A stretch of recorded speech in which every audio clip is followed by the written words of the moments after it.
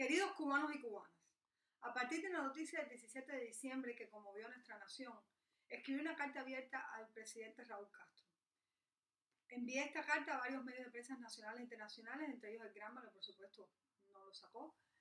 Pero bueno, una vez sacada a la luz esta carta, un grupo de cubanos sin filiación política alguna y sin credo religioso específico reaccionó ante una de las líneas de la misma. En esta yo llamaba a todos los cubanos a venir el 30 de diciembre a la Plaza de la Revolución a hablar en un micrófono abierto.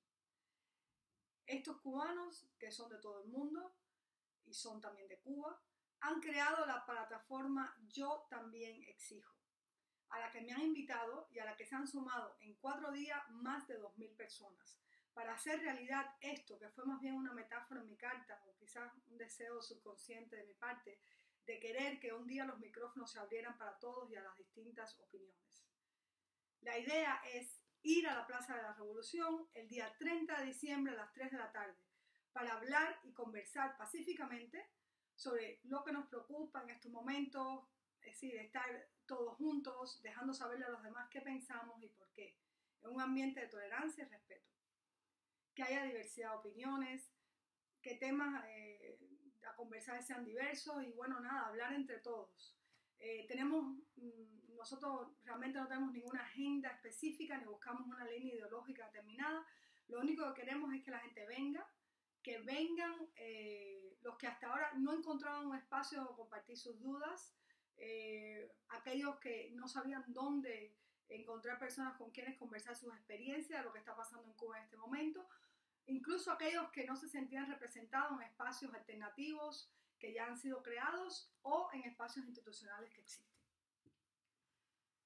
Que vengan todos, amas de casa, contracopistas, cineasta, mecánico, taxista, dirigente, trabajador sexual, estudiante, marginados, maestros, retirados, enfermeras, campesinos, obreros, en fin, que vengan todos los cubanos, todos que piensen con su propio sentido y con su propia experiencia de lo que está sucediendo en Cuba a compartir. Y que nos digan qué piensan del concepto de nación. Es decir, qué quieren que seamos hoy los cubanos. ¿Quiénes quieren que seamos los cubanos hoy y qué idea de nación estamos construyendo? Nosotros queremos con esta acción no celebrar el potencial fin del embargo, sino el principio de nuestros derechos. Ese día no queremos pedir nuestros derechos, los vamos a ejercer. Sería increíble poder compartir contigo en la plaza ese momento, eh, que tiene su referente más directo en una obra que yo hice en la Bienal eh, del 2009, eh, donde puse un micrófono abierto del que hicieron uso quienes defendieron la revolución, quienes la criticaron, quienes dijeron que no entendían nuestra realidad, quienes dijeron que tenían miedo y quienes trataron de articular su derecho a decir lo que pensaban.